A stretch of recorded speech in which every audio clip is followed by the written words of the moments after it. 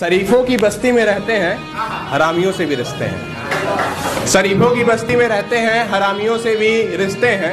तुम बिगड़ रहे हो जिनके खिस्से सुनकर उन खिस्सों में भी मेरे हिस्से हैं